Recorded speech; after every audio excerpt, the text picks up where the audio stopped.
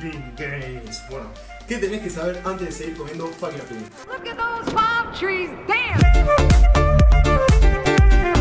Bueno, antes de tocar la parte mala del atún, vamos por la parte buena, es que te aporta un montón de proteínas que son completas y son limpias, porque son limpias, porque te aportan muy pero muy pocas calorías. En sí una lata de atún puede tener tampoco como 100, 120 calorías de pura proteína, sin nada grasa, sin nada carbohidratos, que te permite estar comiendo el resto del día un montón de cosas ricas, llenarte y no pasar hambre.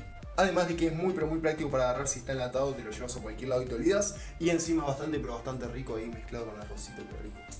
Y la parte mala del atún es que vive unos 15 años y es un pez depredador, lo que significa que durante su vida va agarrando y acumulando mucha, pero mucha cantidad de metales pesados, sobre todo de mercurio, y eso cuando te lo comes te puede hacer muy, pero muy mal.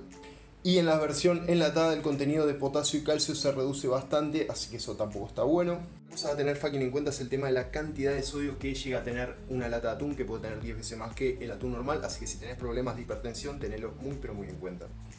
Así que como recomendación final te recomendaría que te peines un poco y que agarres y no comas más de 3 latas de atún por semana para no estar subiendo tanto estos niveles de mercurio y comas comidas como el ajo o la cebolla que ayudan a bajar los metales pesados del cuerpo. Y otra recomendación es comer peces más chicos como por ejemplo las sardinas o los cornalitos que tienen muchas menos concentraciones de mercurio que otros peces grandes como bueno, el atún, eh, la caballa o ni hablar los tiburones. Y ten en cuenta que solo vas a estar consumiendo proteínas, así que te convendría agarrar y consumir fuentes de carbohidratos y de grasas también, eh, y de micronutrientes, porque no tiene muchos micronutrientes la lata de atún. Eh, y bueno, eso es eso, es eso. Espero te hayan servido estos tips y hasta la próxima.